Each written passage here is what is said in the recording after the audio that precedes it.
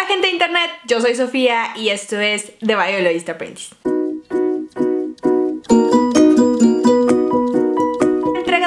Premios Oscar se aproxima y The Shape of Water es la favorita con 13 nominaciones, compitiendo prácticamente en todas las categorías más relevantes como lo son filme, dirección, guion y actriz protagonista. La forma del agua, como se tradujo al español, es dirigida por el mexicano Guillermo del Toro, quien ha sido premiado y reconocido a nivel mundial por su trabajo dirigiendo una amplia variedad de películas, desde adaptaciones de cómics hasta películas de terror y fantasía histórica. El Toro es un director que se caracteriza por imprimir una estética y una ambientación espectaculares a sus películas, creando ambientes tétricos y situaciones fantásticas. Su estilo está marcado por un evidente gusto por la biología y su fascinación por el mundo fantástico. Si han visto las películas de este señor, pues se han dado cuenta que sus trabajos incluyen frecuentemente monstruos o seres fantásticos con peculiares características de insectos. Inclusive en entrevistas el propio Guillermo del Toro se reconoce como un entomólogo aficionado y él mismo dice que los insectos están más cercanos de Dios y que son tan implacables como él y sin dudas están mejor diseñados que nosotros. Es por eso que en este video vamos a conocer un poco más de cómo los insectos han sido parte importante de las películas de este aclamado director tapatío. Empezamos con Crono, su ópera prima de 1993, en la cual se trata de un alquimista español que construye este objeto dorado en forma de escarabajo que está diseñado para brindar vida eterna a su poseedor.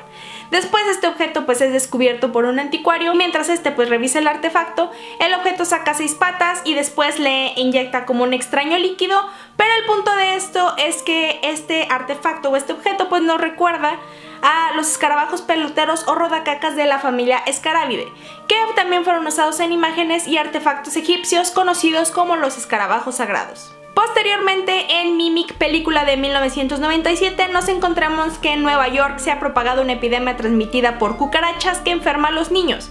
Doctores crean un remedio para acabar con la plaga, un insecto modificado genéticamente a partir de otras dos especies y diseñado para ser estéril y poco duradero y la solución para exterminar a estas cucarachas. Pero, oh sorpresa, pues este insecto evolucionó mucho más allá de las limitaciones del laboratorio hasta el punto de llegar a superar altamente su longevidad, crear toda una colonia en el metro e incluso lograr cierto mimetismo con sus presas, que son los seres humanos.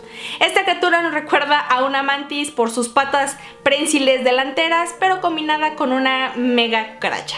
Porque todo mundo amamos a las cucarachas.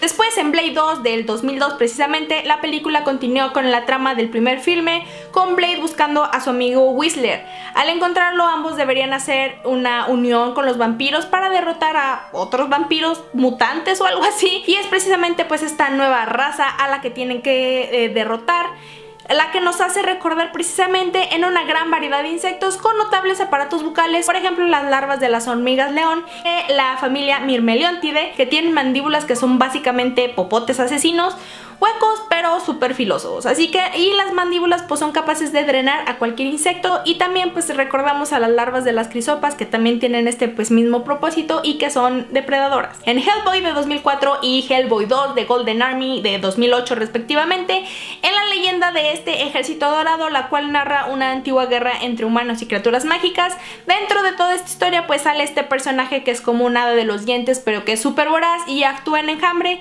y devora a las personas en segundos y pues este comportamiento nos recuerda a las langostas que son del orden Orthoptera de la familia Acrididae y también de, esta otra familia que es Tetigonidae que es la familia de las esperanzas, las cuales tienen un largo historial de ser llamadas hadas en cuentos y relatos. Mismos que podemos ver en una de mis películas favoritas de este director que es El laberinto del fauno, que es protagonizada por Ivana Vaquero. Bueno, la película comienza con la narración de la leyenda de la princesa Moana, donde Ofelia, que es Ivana Vaquero, está leyendo este libro sobre hadas, excepto que en estas narraciones lo que parece ser una hada pues no lo es, más bien un insecto palo de la familia Phasmatide que se pueden ver a lo largo de toda la película. Pacific Rim de 2013 hacen referencia a los llamados Kaiho Skin Mite. De hecho es muy muy similar al isópodo gigante del género Batinomus, pero además con cinco ojos que nos recuerdan a las arañas. Por ejemplo el arreglo ocular de las arañas de la familia Agelinidae y además las piezas bucales muy parecidas a las de un solífugo o conocidos como arañas camello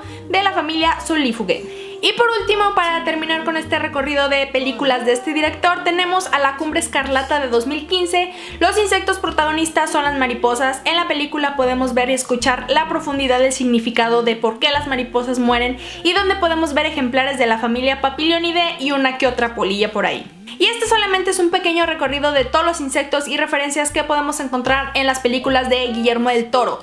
Así que esto sería todo por este video, espero que les haya gustado y no me queda más que desearle muchísima suerte a Guillermo del Toro, que esperemos que se vaya a casa con más de una estatuilla dorada pues este 4 de marzo que son los Oscars. No se olviden de visitar TheViolistaprince.com, seguirme en mis redes sociales y checar la tienda en línea y yo los veo en el siguiente video que en realidad ustedes me ven pero pues, nos entendemos, así que nos vemos, bye.